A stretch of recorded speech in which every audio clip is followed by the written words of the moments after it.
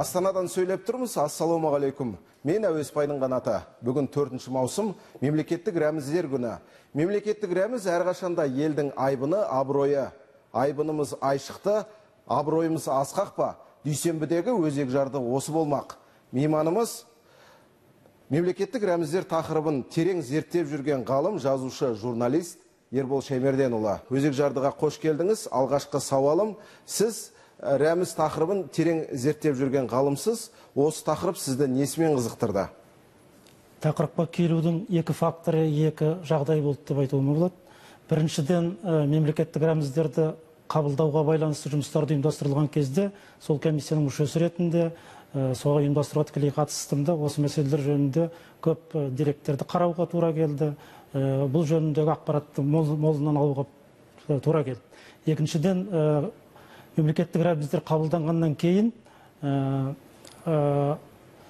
сейдахмет бердіқұлов ағамыз арнайы телефон шалып ербол сен осы басқасында жүрсің ғой осы істің енді рәміздер қабылданды. Енді оны елге насихаттау керек. Оның мән мағынасын түсіндіру керек. Әсіресе жастарға. Осыны сен бір кітап жазып шық деп сөйтеді. Мен аға ол қиын ғой қалай болды? Жоқ мен сені білем. Өйткені лениншіл газет жас газетінде менің редакторым болды ол кісі. Сол тапсырмаменен алғаш 1993 жылы қазақ елінің рәміздері деген кітап пайда болды. Содан бері міне жиырма жылдың ішінде жиырма шақты әртүрлі форматтағы әртүрлі тілдегі кітаптар шықты.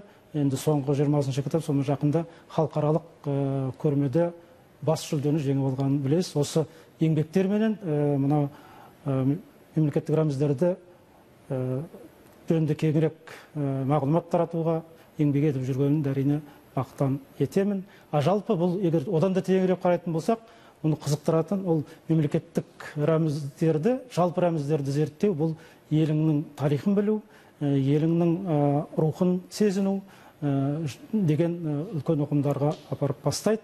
Бүкіл ғылымның жалпы ғылымның ішінде арнайы рәмізтану ғылымы бар. Оны вексилология геральдика дейді. Бұл өте ертеден келе жатқан әлемдік ғылым тарихындағы үлкен бір салалардың бірі. Зерттеу барысында қандай қызықты деректерге кезіктіңіз? Бізге әлі де болсын беймәлім. зерттеу барысында қызықты деректер көп кездеседі. Кітабыңызды бәлкім барша қазақстандықтар оқи қоймаған болар сондықтан осы сауалды қойып отырмын. Енді бұл кітаптардың ішінде екі бағыты бар. Біріншісі тікелей тарихына қатысты. Жалпы геральдика вексилология әлемдік тарихына байланысты сосын өзіміздің қазақ тарихына байланысты. Екіншісі біздің жаңа мемлекеттік рәміздеріміздің мазмұны онда астары қандай не туралы информация бар деген тұрғыдан. Мысалға соның қайсысынан алсақ та үлкен үлкен жаңалықтар. Өйткені бұл сала бізде бұған шейін арнайы зерттелмеген салалар. Тіпті біздің қазірге шейін қазақ мемлекеттілігінің жалпы қазақта ту болды ма? Ол қандай болды дегенге шейін әңгімелер көп қой. Соның ішінде енді көп айтылатын деректер мысалы абылай ханның ақ туы болды дейді. Кімнің жаңағы қабанбайдың ақ туы төре таңбасы бар. Сол сияқты мынау нелердің бұрын қазақтың туларының қандай болды деген қараған кезде сол ең бірінші бір заңдылық ашылған қазақ тулары негізінен мысалы жаңағы мына әр рудың таңбасы бар таңбасы белгіленген тулар алғашында. Болған екені байқалады. Содан кейінге қалған кезде мынау он тоғызыншы ғасырда қазақтың біраз қалаларында ту болған. Бұл енді ресейге бағынғаннан кейін ресейде сол он жетінші ғасырдан бастап арнайы жүйе петр біріншінің өзі бастап із қалдырып арнайы реттеген ғой бұл мәселені соның ішінде біздің үлкен үлкен қалаларымыз қызылжар семей жаңағы жетісу өңірінің гербтері сақталған. Олардың не жөнінде айтқан? Ал жақында мысалы мынау қазалы қаласының гербі жөніндегі деректер олар енді алдындағы деректерде айтылған болатын. Сондай бірнеше қалалардың елтаңбалары болған бірақ олар сақталмаған. Арнайы регистрға кірмеген деген. Олар арнайы регистрге кірмегенменен олардың жобалары сосын түсі байқалған екен. Осындай деректердің сосын жалпы өзі мынау мемлекеттік рәміздердің астарында орасан зор мағлұмат жататындығы сосын ұлттың ерекшелік менталитетін жататындығын аңғару соны зерттеген кезде осыны көп әсер етті. Жаңағы менің кітаптарымда осы тұрғыдан келіп терең жан жақты мәселелерге тереңірек үңілуге тырыстым. Оны енді оқыған оқырмандарды атайды. Мына шет елдерге ағылшын тіліндегі аудармасы да жақсы. Мына мамандар хат жазған олар енді осы біраз шаруалар айтылғандығын әсіресе қазақ рәміздері жөнінде аз білетіндіктерін мына жерде соның орнын толықтырғандығы жөнінде өздерінің ойларын пікірлерін білдіріп жатыр. Ал ең үлкен бұл еңбектердегі ең үлкен оқырманның назар аударуға тиісті назар аударатын нәрсесі бұл біздің тәуелсіз мемлекетіміздің тұңғыш рәміздерінің қалай қабылданғандығы қандай жағдайда қабылданды және олардың рәміздік астарында не жатыр. Оларды білмей өйткені мемлекеттік рәміздерді құрметтеу де мүмкін емес ол мемлекеттік рәміздерді құрметтеудің бірден бір жолы ол әлемдік тарихының өзінде сол рәміздерді жақсы білу керек. Оның астарындағы сын тарихи философиялық саяси астарын жақсы білген жағдайда ғана оны ә, не екендігін өйткені нені құрметтеу үшін оны не үшін құрметтеймін нені құрметтеймін деген сұраққа ә, жауап алу керек қой құрметтеу мәселесіне келер болсақ енді менің ұғымымда сіздің кітабыңыз сіздің еңбектеріңіз теңіздің бір тамшысындай ғана деп ойлаймын. Осы рәміздерге байланысты соңғы жылдардың белесінде түрлі келеңсіздіктер орын алып жатты. Ол мына кувейттегі жағдай қостанайдағы жаңағы әнұран орнына басқа әннің ойналып кетуі сияқты келеңсіздіктер. Дегенмен де осындай келеңсіздіктердің орын алуы жаңағыдай зерттеу кітаптарының зерттеу еңбектердің әлде болсын аздығынан сол арқылы біздің әлде болсын рәміздерді жіті танымауымыздан деп айтуға бола ма? Үйдеуге де болады. Өйткені жаңағыдан сайып келген кезде рәміздерді жет, жеріне жеткізе әлі насихаттай алмай жатырмыз ба дегенді. Бірақ екінші бір жағы бар. Ол рәмізге жаңағы бойға сіңіру керек. Ол жай, жай ғана мына жерді мына көк тудың түсі мынандай екен деген ол адамның бойына. Оның неге сол көк түсті таңдап алды? Ол неге біздің халықтың төл түсі деп аталуға тиісті деген сияқты адамның жан ол тіпті мынау тәуелсіздік идеологиясына байланысты. Тәуелсіздіктің өзі рухани құндылық ретінде адамның бойына азаматтардың бойына ену керек. Осы ретте мына рәміздер жөніндегі көзқараста рәміздер жөніндегі білімдер сол рухани құндылыққа айналуға тиісті жай ғана біл, білім ретінде емес өте қастерлі жүрекке өте жақын ата бабаңның рухы бар рәміздер екендігі ол тәуелсіздігіңнің рухы осында екендігі сезетіндей жағдайда болу керек. Жалпы бұндай жағдайлар көбейіп кетті. Бұндай жағдайлардың көбейіп кетуі бір жағынан әрі қатаң шара қолдана алмауымыздан деп ойламайсыз ба? Бұл жерде екі сіз атаған екі екі оқиғаның екі түрлі қарау керек. Қостанайдағы оқиға бұл енді жаңағы нағыз әлгі басбұзарлық хулиганство дейді ғой басбұзарлық болуға тиісті. Ал мына бұл соған орай жасалануға тиісті деп ойлаймын. Ал енді мына кадрдағы жағдай бұл енді біздің спорт саласында жүрген адамдарымыздың өз істеріне тиісті жауапкершілікпен қарамауы деп ойлаймын. Егер сол үлкен әлемдік жарыста елдің даңқын шығарып үлкен жүлде алтын медаль алайын деп жатқан кезде әй ертең сонда біздің гимн орындалады ғой әнұран. Сол гимн ана ұйымдастырушыларда бар ма екен? Дегенді ең алдымен команданы жасақтап жіберіп отырған астанада отырған жерде сол ескерілу керек. Екіншіден ана жеңіске енді қол жетер қалған кезде сол жерде де ұйымдастыруда жүрген адамдар бар ма бізде дегенді ескеруге тиісті ал енді оған өткенде бір мен оқыдым ә, мемлекеттік жаттықтырушыны жазалады деп.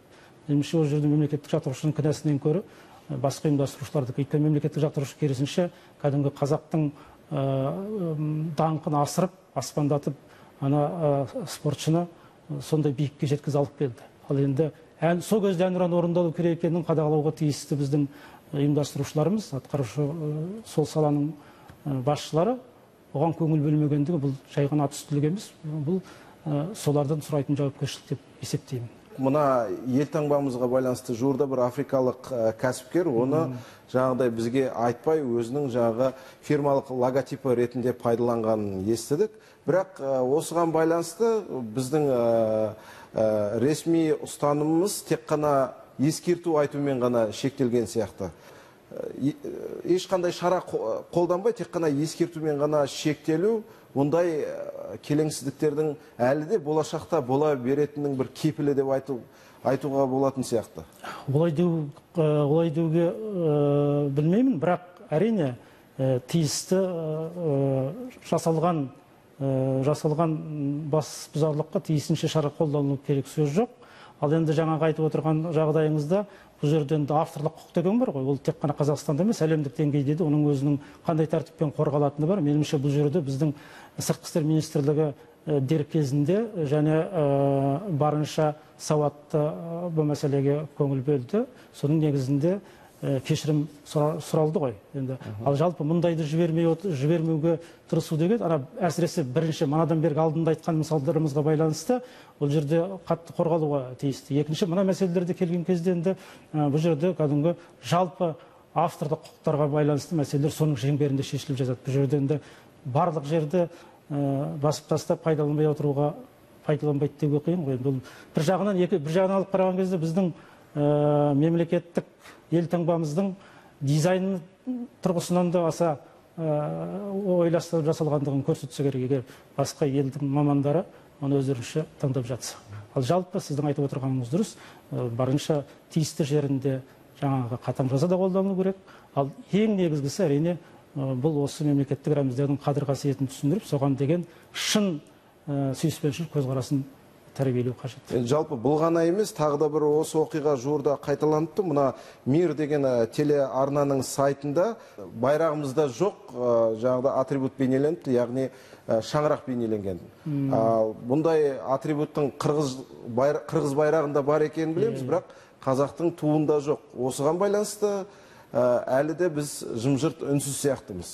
Бұл өте э, әрине сіздің айтып отырғаныңыз дұрыс. Оған дер кезінде назар аударылу керек. Әлі күнге оған э, тиісінше оның дұрыс емес екендігін айтпай тұрғандығымыз ол бізге абырой әпермейтін дүние. Әрине дер кезінде біздің өзіміз қастерлі өзіміздің жүрегімізге жақын деген дүниелерді басқалардың оған қалай солай қарауына жол бермеу әрине міндет.